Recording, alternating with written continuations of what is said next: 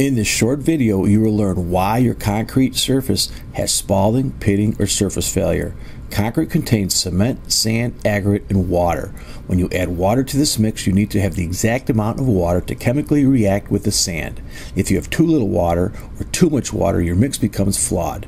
Surface failures are caused by too much water added to the mix design at the batch plant during the concrete placement, by the concrete finisher, or even by rainfall, which all weaken the concrete permitting failures.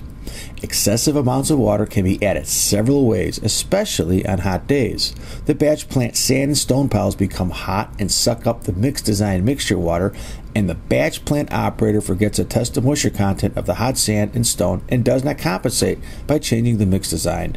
This causes early set or premature hardening, which is compensated by adding more water to the delivery truck.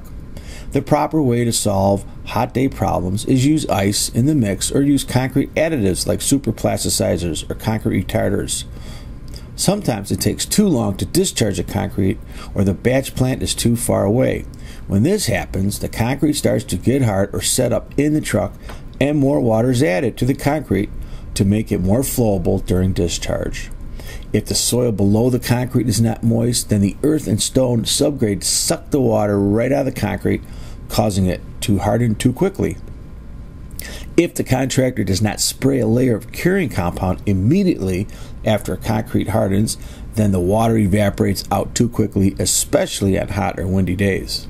You need the exact amount of water and you want it in the concrete so it cures and gets strong within 28 days.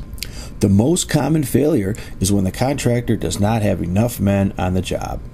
You add in some sun, some wind, and long placement times, the concrete gets hard too fast. So then, the finisher splashes water on the surface, making it easier to finish. If it rains and the concrete is not covered, too much water gets into the surface, or if the truck driver did not empty his truck from his 30 gallons of wash water in his drum from his last job, you have too much water in the mix. Additionally, during the winter, if the concrete is not heated, covered, or protected, it freezes. Finally, exterior concrete must have air entrainment chemicals.